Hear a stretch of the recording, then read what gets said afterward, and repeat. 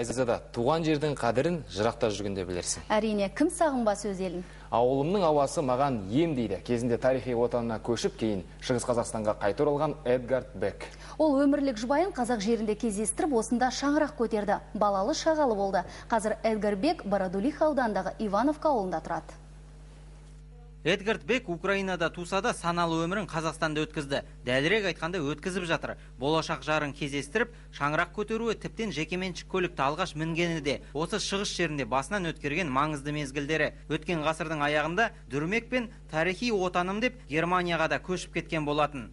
Многие уезжали. Көбі көшіп жатты хабарласқанда барлығы тамаша деп айтатын. Сол уақытта күйеу баламның ата анасы яғни құдаларым сол германияға қонаққа барып келіп бұл жақтағылар оларға ең жақсыларын көрсеткен болар. Келген соң көпке созбай олар да қоныс аударды. Одан кейін сол жақта бәріміз бірге болайық деген оймен біз де көштік.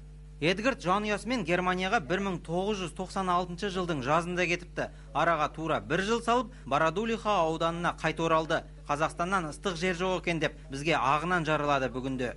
Скучали Казахстан. қазақстанды қатты сағындық. Барған күннен бастап өзегімізді өкініш өртеді. Туған еліңе жеріңе деген сағыныш сезімі қандай болатынын сонда түсіндім. Қайта оралғанымызға өте қуаныштымыз. Көшкенде өз ауылыма қайта оралатынымды сезгендей өз қолыммен салған мына үйімді сатпағаным қандай жақсы болды деп қуанады эдгард себебі ауылдың тұрған жері жайлы суы мол шөбі шүйгін кезінде мұнда тұрған халықтың 95 пайызын неміс ұлтының өкілдері құраған. Олар басқа жаққа қоныс аудара бастағанда мұнда өзге жақтан көшіп келіп жатқандар да аз болмады. Негізгі ұлттар қазақтар келді орыстар белорустар украиндықтар сосын бір жарым проценттей корейцтер. Олар мына жерде картошка салады егінмен осындаймен шұғылданып жатыр. Бородулиха ауданында кезінде негізінен немістер көп тұрған бірнеше ауыл бар. Қазір барлығының жағдайы осы ивановка елді мекенімен ұқсас. Көп ұлтты ауылдарға айналып кеткен. Шығыс қазақстаннан берік көшербаев ермек иманғазы қазақстан ұлттық арнасы.